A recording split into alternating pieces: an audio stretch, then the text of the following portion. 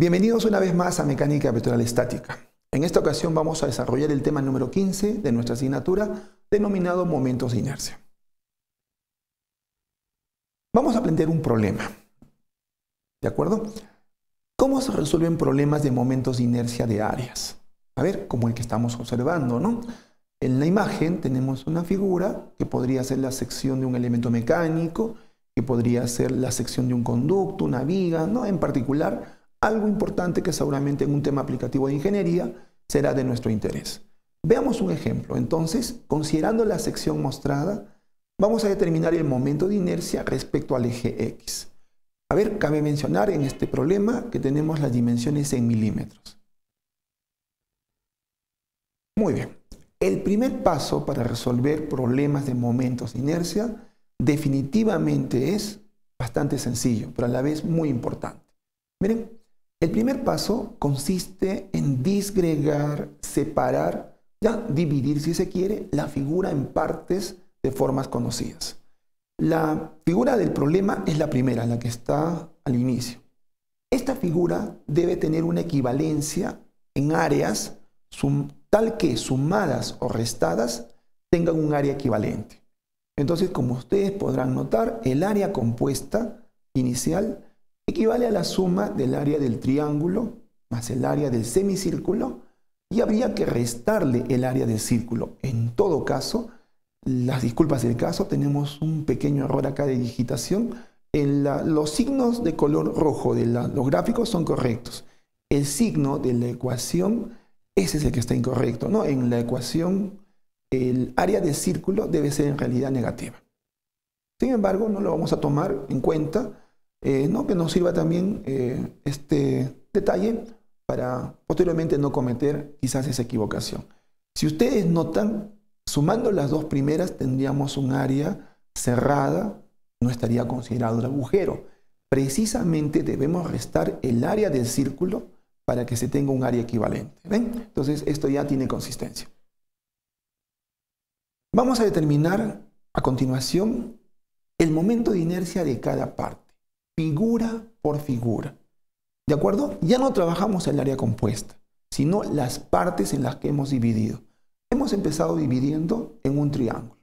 Este triángulo lo vamos a analizar para el momento de inercia. Recuerden que para este tema nosotros debemos utilizar el teorema de los ejes paralelos. Aquí tenemos el momento de inercia del triángulo. Para eso necesitamos, en primer lugar, el área. Sabemos que el área de un triángulo es el producto de la base por la altura entre dos, o lo que se dice, ¿no? El semiproducto de base y altura. Como ven, el cálculo es bastante sencillo, 4.500 milímetros cuadrados. Es importante para la aplicación del teorema de los ejes paralelos ubicar el centroide de la figura, como ven ustedes, ya con el tema que desarrollamos, centroides y centros de gravedad en el tema 8, nosotros sabemos que el centroide está ubicado a un tercio de la base y un tercio de la altura desde el vértice recto. Entonces estamos, según la figura y la ubicación en el plano, a 60 milímetros del eje Y y a dos tercios de 100, ¿no? aproximadamente 66.7 de altura respecto del eje X. El siguiente cálculo que ustedes ven eh, sigue al cálculo del área, es el momento de inercia respecto al eje X centroidal. A ver, reparen ustedes en la expresión que dice base por altura al cubo entre 36. Esta expresión, ¿de dónde la obtenemos? Pues muy fácil. Esto lo obtenemos de los formularios que la bibliografía, los textos de consulta eh, u otras fuentes nos podrían dar las fórmulas pertinentes ya establecidas ¿no? por integración y que para el caso del momento de inercia para el eje X centroidal está establecido que es base por el cubo de la altura entre 36. Reemplazamos los datos, la base, la altura, hacemos el cálculo y obtenemos 2.50 por 10 a la cuarta en milímetros a la cuarta.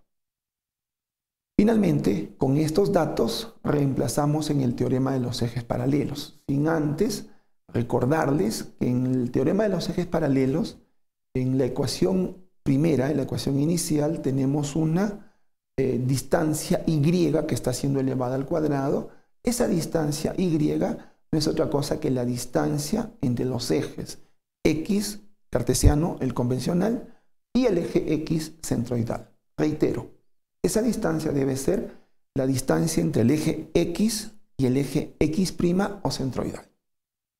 Emplazamos en la fórmula del teorema de los ejes paralelos y obtenemos la respuesta final solamente para el triángulo de 22.52 por 10 a la sexta milímetros a la cuarta. Bien, terminamos con el triángulo. Proseguimos con el semicírculo. De igual modo, aplicamos el teorema de los ejes paralelos. Para tener eh, esta aplicación necesitamos el área de la figura. Sabemos el, cuadrado del radio multiplicado por pi entre 2. ¿no? Pi por radio al cuadrado entre 2 si se quiere para el área del semicírculo. También la fórmula 0.1098 por radio a la cuarta, esto se denomina momento de inercia para el eje X centroidal para el semicírculo.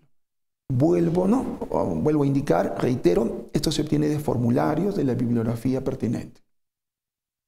Eh, la distancia entre ejes es muy importante.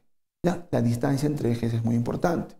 Como estamos trabajando momento de inercia para el eje X, es necesario tener la distancia entre el eje X y el eje X centroidal. Eh, vemos que del eje X hasta la base, ¿no? donde se encuentra el diámetro del semicírculo, es 100 milímetros. Pero por cuestiones de centroides sabemos que del centro del círculo al centroide existe una distancia o una altura, si se quiere, de cuatro veces el radio entre 3pi. Tengamos cuidado con ello, por eso, eh, como habrán podido notar, para desarrollar el tema momentos de inercia, previamente debemos conocer el tema centroides.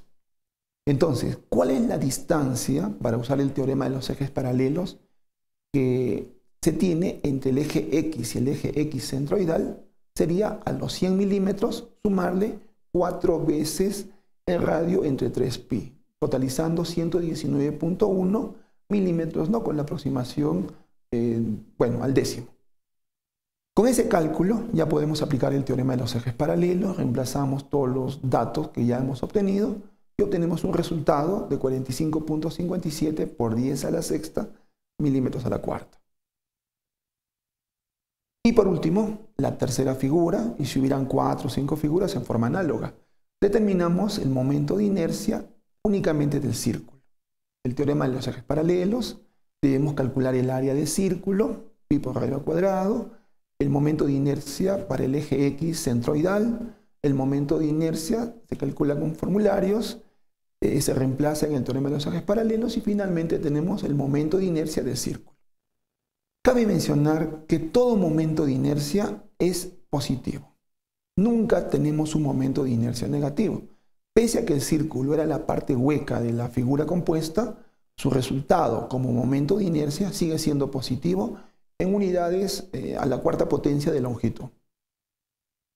Para obtener el resultado final, el momento de inercia de la figura compuesta, basta la sumatoria algebraica, haciendo hincapié que para el círculo antecedemos de un signo negativo.